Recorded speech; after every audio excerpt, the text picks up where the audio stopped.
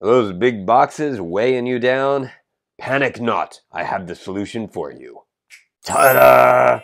Tiny games that can fit in just one hand and that you can solo. We're gonna go through 15 of them. Let's get started. Howdy and welcome. I'm Mike, Board Games for One, your board gaming every dude. And the first game is actually wallet size, and it's from Button Shy Games. Button Shy Games publishes a new wallet size game every month. So you can check out their publisher site. I've got it in the description below. I might link it on a card here. We'll see what happens. But anyway, what I have, they sent to me Battlecrest as well as the solo expansion. So Battlecrest is a versus game. It's a one to two player card game. As you can see in the pictures there, you get to choose one of four heroes. After you get the solo expansion, you have four heroes that you play and pit against another of the remaining three heroes of your choice. So you've got a lot of mix and match variability, and you actually have a landscape that's laid out as well as your player abilities and your opponent's player abilities. And this is a solo AI deck. So this is an intelligent solo opponent that follows a priority system, make it an, a nice challenge for you. You get to actually move around and try to defeat them. Last man standing is the one that wins. Next game. Little change of pace here with In Dreams from Sideroom Games. Now this just finished on Kickstarter, but I expect we'll be able to see it on their website, Sideroom Games website, pretty soon. Maybe at a uh, local board game store. We'll see what happens. But this is actually a storytelling game where you end up, there's not really a win or lose. There are resolutions, but what you're doing is you're flipping over different plots and events. You create a character and you try to resolve some issues within a story. It's great for writing prompts and things like that, or just if you need some relaxation, maybe even a little therapy. Speaking of Kickstarter games, little bonus one here. An extra game is called Bonnie and Clyde. I don't have the box with me right now, but this is an awesome one to two player game. Super crunchy decisions where you are playing Bonnie and Clyde on a road trip trying to get them to have their romantic evening, their very last one, before justice catches up with them. I've got a couple videos on it. I'll put the cards up here so you can check those out. I don't know what the availability will be after the Kickstarter delivers, but keep an eye on the publisher, Yeast Games. Let's continue with the next available game. This little fight in a box from Fight a Box Games is called Mouse Cheese Cat Cucumber. Tiny little box. This is only $13, I believe. You can get it from the publisher. You can get it from your local game stores as well. This little thing has one, two, three, really, well, it comes with three solo modes, so it's a one to four player game. You can play it multiplayer, but the solo modes include you build out a maze and you're trying to complete different missions based on whether you're playing as the mouse, the cheese, the cat, or the cucumber. There's a whole story that interlocks them. So one of the solo modes is actually taking all of the cards and putting together a maze where all the, uh, uh, basically a picture where all the pieces fit together and you can actually decipher the story and solve whatever mystery there is to the box if you put the maze together right. That's one solo mode. And then there are two other solo modes where you're creating an ever-shifting maze trying to, feat, to beat one of your objectives. It's a different objective each time that you play. And then there is the campaign mode. If you, I think it's $20 total, if you get everything with the two expansions. And I've got a video of the actual campaign mode up here. And Speaking of mouse, cheese, cat, cucumber, we're actually doing a giveaway just for my loyal followers here. Y'all have been amazing. Thank you so much for all of your viewing. So if you would be interested in entering this giveaway to win this free copy of Mouse Cheese Cat Cucumber, and unfortunately I am very sorry, this is the continental North America area only, and that's simply because the international shipping stuff makes me a little nervous right now. I don't know what to expect. I don't want to disappoint someone. So just for like the Canada, North America, okay? All of North America, there you go, continental. Will do my best. If you're interested in entering, just send me an email to boardgamesfor1 at gmail.com and just mention the giveaway in the subject line and say whatever you want. Say howdy, tell me how your day was, tell me how your day was not, whatever, whatever you want to do. Totally fine. Good by me. You can leave it empty. But anyway, I will close this out on December 1st, 2022 of this year. So be sure to send your information then. Just send the email. I will reply to you if you are the winner. I'll also announce it on my channel, probably in the community tab. That's the easiest place for me to do that. If I can mention it in a video, I will as well. So best of luck to you and thank you so much for all of you who continue to come back. It means a lot. Moving on. Little detective for you. We've got the Decktective series. There's three, four different cases out right now. I have the Will Without an Heir, but as you can see, this is a one to however many players, one to six player game where you are solving a mystery. You actually get a 3D crime scene and you are flipping over certain cards, choosing which clues to keep, which clues to discard. You can't keep them all, and there's a price to pay to get each one. And you have a time limit because once you get to the bottom of the deck, then you have to answer questions to try to solve the crime, find out how good of a detective you are. This is from DV Games. Next game. All right, we've got an escape room adventure. There are several different ones you can do. There's exit, unlock, there's, um, it's not detective, deckscape, and more. There are plenty more, but what I have is unlock, and I think it's a good starting point. It is good to know this isn't app dependent. You don't use the app much. It's mainly for a timer and entering codes into like a machine so that you can open doors and things like that. If you want a totally non-app one, that's probably going to be something more like Exit and Deckscape games. But anyway, Unlock, pretty cool. You lay out your cards, you end up creating an escape room on the table where you have to solve different codes, unlock different things, explore different things. Sometimes you have to use the app to explore a room. Just depends on which one you're doing. This is the formula. There are so many different ones. Next game, Pigment from who are you? Copper Frog Games. So this is pretty easy to pick up if you're at like Books a Million. Sometimes I think I've seen it Barnes & Noble. You can always check your local game store, publisher sites, all that for every one of these games. Pretty simple. This is how many players do you go up to? One to three players. So it's a low player count game playing solo. Basically, you're at a bazaar. You're like an artist apprentice trying to get different pigments, to get different paints, to complete different masterpieces. You collect those masterpieces for points. That's really all there is to it. Simple game, little game in a box. Upside down. Next game. Pretty cool one here. We've got Hunted. Mining Colony 415. So Hunted is a series. I know there's a third one that was just released on Kickstarter. I don't know anything about it. This is Aliens, basically. It's Aliens. You're on a colony, and it's cool because it's got a dexterity element. So what you have is you have your card layout where you are drawing cards to reveal different items, abilities, and enemies. You're also revealing location cards. In order to open location cards, you have to spend abilities on the main cards that you draw. Then when it comes to combat, you are actually tossing tokens and they have to land in a target area in order to land as hits. If you lose all your HP, you lose the game. If you make it all the way through the location deck to the finale, you win the game. Pretty straightforward. And that is by Barrett Publishing. Next game, the other hunted game, Kobayashi Tower. And this is, what's that movie? What is that movie with Bruce, Bruce Willis? Die Hard. This is Die Hard, the card game, right? So this is similar to the previous Hunted, same exact setup where you have location cards and you have to get to the bottom of the location deck to get to a finale, beat the finale in order to win, lose all your HP, you lose, but it is different in that it does not have the dexterity element. Instead, where the previous game did not have any dice but had dexterity, this one has no dexterity but relies on dice. So if you like dice rolling, that's great. It does have some mitigation to it, but basically you're doing the same thing. You're collecting items and ammunition and weapons and such, also revealing enemies that you have to fight against while revealing items that you need in order to access new locations so you can get to the top of the tower, save your girlfriend, be the hero, blah, blah, blah. Good stuff. Same thing, Barrett Publishing. Next game. This next one is a bit of a hidden gem for the right person. Okay, so this is Pulp Detective. I do not recommend this um, just for beginners or if you don't like old pulp detective style themes, don't go for it, all right? But if you do, this is great. So in Pulp Detective, you are solving crimes. It's less of actually solving a mystery and more of tableau building, where you are building out a storyline with your cards in order to find the villain and then combat and defeat the villain. What you're seeing, I actually have the entire collection, which is the base game and three expansions and the puzzle mat to lay it out on. The base game is plenty to play by.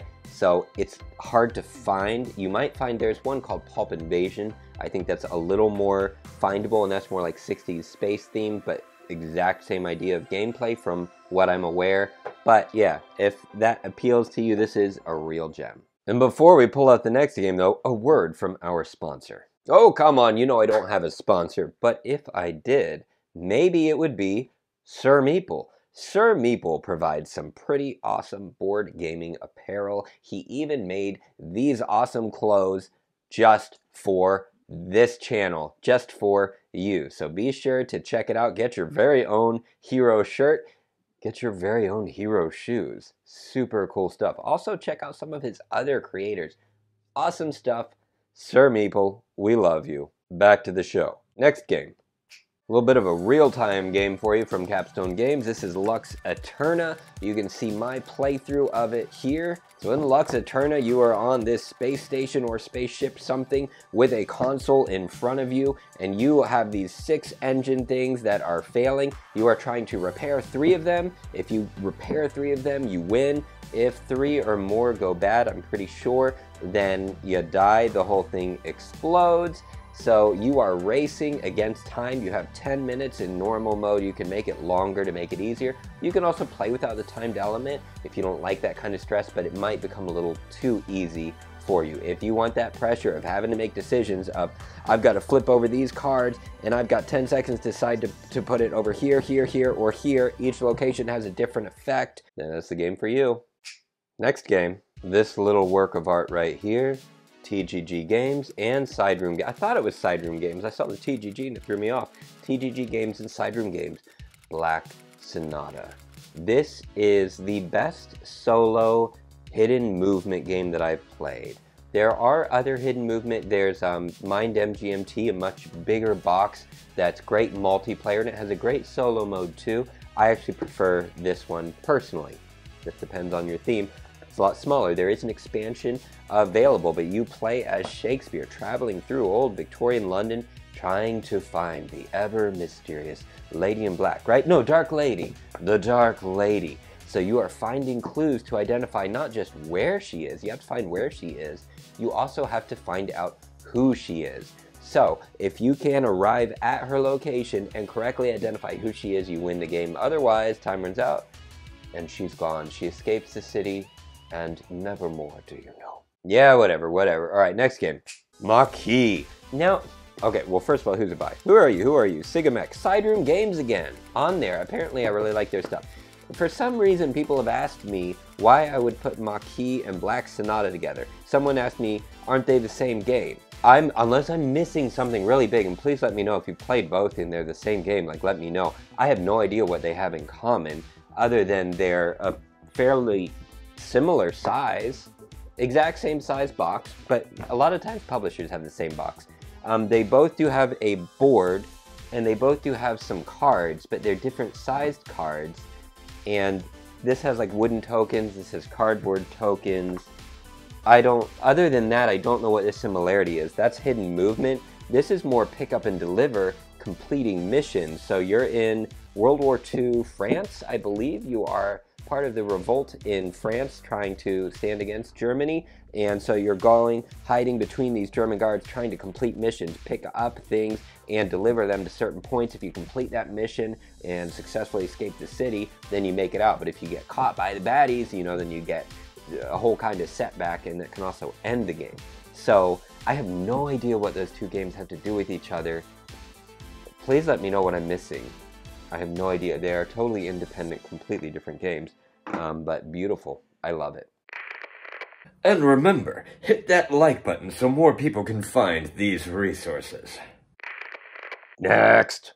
Hostage negotiator. Anyway, um, somebody, who was it? It was on Instagram, Smash Up Guy. He said he heard the Priceline negotiator whenever he did that. So I see Captain Kirk, I forget his real name, that guy. I see him every time I play this game now. But Uh, what you're seeing in my pictures is actually the full collection with all the expansions, including the playmat. But you can buy just the base game, this little box here, in order to get started and see if it's for you. In this game, you are a hostage negotiator. I've got a full video actually of a little more detail about this game up here. But it's by Van Ryder Games, and it is a game of dice rolling, but also of luck mitigation by utilizing your hand of cards. You can actually bypass the dice if you play your cards right. So that's part of the biggest strategy is learning which cards to sacrifice in order to manage your luck and talk whoever the hostage holder criminal person is down because the madder they get, the worse it gets. Then they start killing hostages. It gets really sad. If more than half the hostages get killed, then you lose the game. And then there are a couple ways for the game to end in victory. Either they can escape, which isn't really a victory, but at least you know not not everybody died. Uh, you can also capture them, and that's great. You can also have them shot, which is a very sad ending, um, but pretty cool game. If you get the expansions, it comes in little card packs with different abductors, and then you can get Crime Wave, which adds more abductors. It also adds a big box, but it's a big box because it holds all of your tiny boxes, right? So the Crime Wave is actually a small box game with a big box so you can fit everything inside. And then there is the career expansion, which I absolutely love, and it adds a campaign mode, which is just awesome. And then of course you can get a playmat, but just start with this, see if you like it. Find out it's for you. Next. We're moving on to Weird Giraffe Games. We've got two Weird Giraffe games. Look at that beautiful artwork. Just look at those colors. I love these colors. So Big Easy Busking, Big Easy referring to New Orleans, and you play as street performers. So unique theme going on here. And what you are doing is you are a street performers playing against a robot band when you're playing solo. So kind of like a scary Chuck E. Cheese band, the robots going crazy. And what you're competing for is the most money, the most tips. If you get enough money, enough tips, then you win the game. You'll have an option of different songs that you can play by the layout of your cards. You want to play the right songs to the right audience. They'll like different moods. They might be a love song mood, party mood, or if it's wild, it doesn't mean wild mood. It means that it can be any mood. And the more that they are happy, the more money you get. By the time the game ends, you want to have more money than your robot opponent. There are three or four different robots you can play against with scaled difficulty. Next! Also by Weird Giraffe Games, Fire in the Library. Now, when I looked at this, this was back when I looked at ratings um, on uh, Board Game Geek there. I mean, I look sometimes now, I don't give a lot of weight to it because I don't tend to agree. Um, this was still, I think it was below 7. It was like 6.5 or maybe it was at a 7. I don't remember. Um, so, of course, that kept me from buying the game for a little while, but I kept looking at it and I was like, it just looks really cool. So I thought I'd try it out. And I mean, granted, I wouldn't rate it like a 10 or anything like that, but it's definitely, it's, it's a good game. I don't know, I don't understand ratings sometimes. But anyway, this uh, plays solo, but it's also for like one to however many, one to six players, one to six players. And what's cool is it's a push your luck game. So if you like a little push your luck, but you want a solo game, that's what you're doing. The idea is there is this library with all the world's knowledge, but a fire is coming to consume it and it's unstoppable. You can't stop the fire.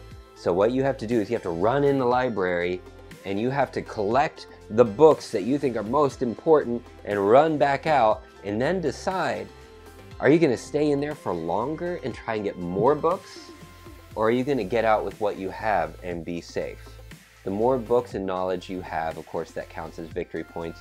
You need a certain amount of victory points in order to win the game. The solo mode, you are not going up against a robot librarian. No, you are not. Instead, you have 12 rounds to try and save as many books as possible. So it's a bit beat your own scoreish, but still really enjoyed it. Enjoyed the push your luck. And you get to collect different items that can help you out. And what happens is each turn, you end up flipping over cards that reveal, say this was a safe picture of the library. Well, you flip the card and the next one might be more fire right? And the next one might be even more fire. The more fire that spreads all the way until there's nothing left of that section of the library. So you're going and trying to collect the books and also not catch on fire yourself. The push your luck comes from the bag drawing mechanic where you're drawing cubes out of a bag and they might be safe cubes, they might be knowledge and books, or they might be a fire cube. And enough fire cubes And sorry, you might lose everything. Let's bring them all back for one more showing. Voila. 15 games you can fit in one hand. I am really thankful that y'all waited for this video. I know it's been week and a half, two weeks or so. If you're interested in purchasing any of these, check with your local game stores. If you don't have that privilege, if you don't have a nice one near you, I put a link for how you can purchase it in the description below. So feel free to click that as well. I'm going to send you to this next video I made just for you. As always, love y'all. I'll see you next time. I try so hard.